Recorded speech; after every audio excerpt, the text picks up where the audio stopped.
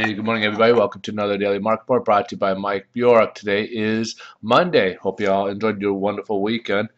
Uh, it's been pretty hot around here in Southern California, but uh, we got really no economic news releases scheduled for today, but but we do got a lot for this week. So be prepared uh, for some volatility. We got uh, retail numbers that come out this week. We got, um, I believe it's uh, PPI and CPI numbers and some manufacturing. So we got a little mixture. Uh, so we had light week, kind of a little, a little vacation, I guess, from the economic news released last week. But this week we got quite a bit. So just happens to be today's not one. So, all right, folks, we'll jump over to headline news here. And right now the uh, stock market is currently down. We saw the Dow down about 69 so far this morning and uh, a lot of it they're looking basing it on uh, some numbers that they saw in Japan. So their Q2 numbers uh, did a sharp decline. They had about five percent growth, and uh, five in um, in the first quarter they figured it would come down to about 200.7 percent roughly, and it dropped down to like 1.4. So about half of what their expectations were.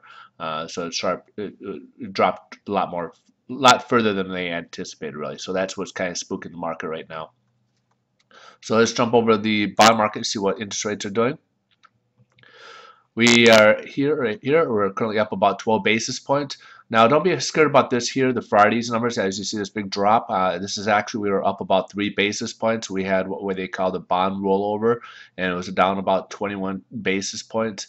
And what that basically means is that uh, they package up the bonds that were sold for that month, and then they create new pricing for the next month. Uh, so that's how the bond rates are working. Uh, but it doesn't change the uh, pricing on the interest rate. So really there's no uh, price change from what we opened up on Friday here. And today, so technically we would probably be up closer about here if it wasn't for the bond rollover.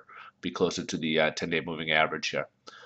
All right, folks, so interest rates are a little bit better today. And Hopefully it continues getting a little better because we do have a few gaps here to close. We still have this gap here and we still have this gap here to close up and uh, get above that uh, trend line. So I think I talked about on Friday where we had like this little uh, trend line that's up this way. We on the three and a half we need to be above the 105.60 to keep above that.